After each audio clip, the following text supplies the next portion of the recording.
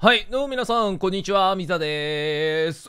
ういうい、つうことで、えー、本日はですね、無料ガチャとエクスカリバーチャレンジやっていきたいなというふうに思っております。よろしくお願いしまーす。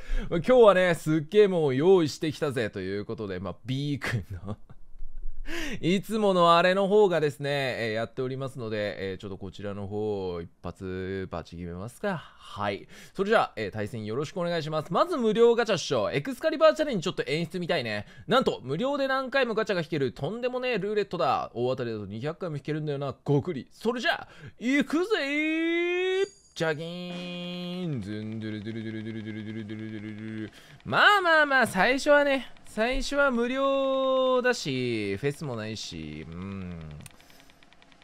でも10はやめて。お !10 じゃないじゃん。30来るんじゃない？あ、これ20か。ああ。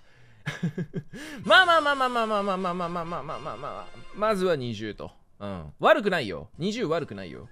20回無料だなやったぜ。そんだけ一気に引きりゃすげえ武器とか手に入るそうだ。一応もうすでにクリスマスキャラクターが出る可能性があるからね。あの、工場キャラクター、工場ガチャでも。うん。そこら辺考えると、まああの、ちょっとこの20連でぶち決めていきたいね。で、えー、スタンプログインキャンペーン、ポン。はい。どんどん先へ進もうぜ。200個もあげちゃうぜ。レジェンドガチャチケットだ。来た米津玄師ご当地たちはパーティーを盛り上げるキャスティングを終える。あれ?そしてみんなで個人足場運び、子供たちを喜ばせるため前夜祭を開いていた。これ関係ないよね。あれ何もないな。あれ?こうつけきな聖夜のお供を1個獲得。はい。とりあえず無料ガチャ。あ、あれだな。ムック。ん？今回は金色なんだね。いつも緑色なんだけどね。まあ、あの、これが終わったらムックみたいな感じ。ガチャピン引き終わったら始まるのかな？エクスカリバーチャレンジが。じゃあまず、きちゃい。はい、10番目、10番目、10番目。おお、2個来たほほほほほ夢がありますね。ほほほ。グラブルサンタからのプレゼントじゃぞー。これ、いいウィアですね。風いいウィア。えたまくいよ。お、ええー、ねえ。クリスマスキャラだけどさ、ちょ、ここで出んの？俺、スタレで出てさ、狂気乱舞したじゃん。クリスマスアルタイルが出たんだけど。ね、俺のさ、俺のあのスタレでの狂気乱舞が、こんな、あ、来たエクスカリブーチャレンジ抜けるかな？抜けるかな？抜けるか抜けるか抜けるかな？おうおう。はい。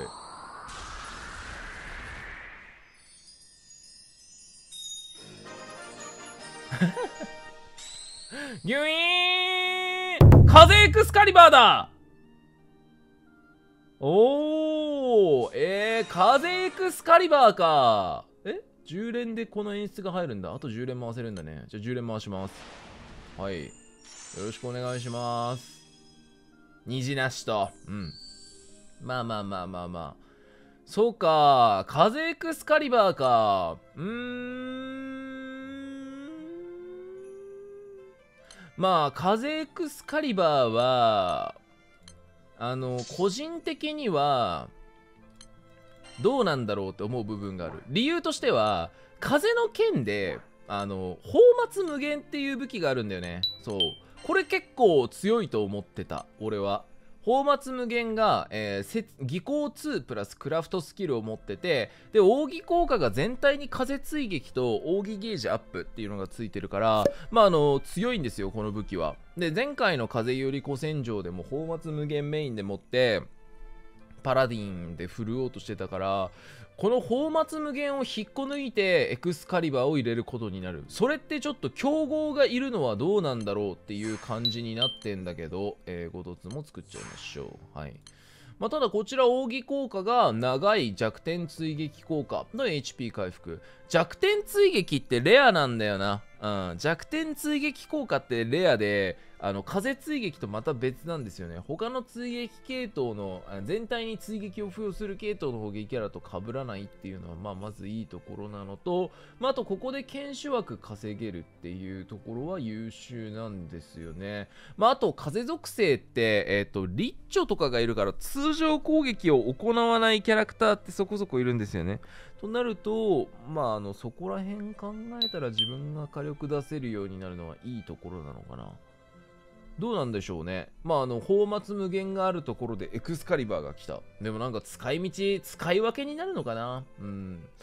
そっか。でも剣州インドラリムあるからな。風属性どうなんだろう。でもこれ使ってみたらめちゃくちゃ速いみたいなのも全然パターンとしてあるからな。うわついに来たか、俺にも。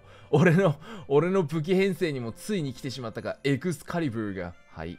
ということで、えー、今回の俺の無料ガチャとエクスカリバーチャレンジでした。エクスカリバーは風属性でしたね。まあちょっとなんか使い道考えてみようかな。これなんか楽しみだね。ま、実際どうなんだろうっていうのも少し、またそのも楽しみだと思うんで、ちょっと試してみたいと思います。そんな感じでございました。それじゃあ皆さん、またお会いしましょう。さよなら、バイバイ。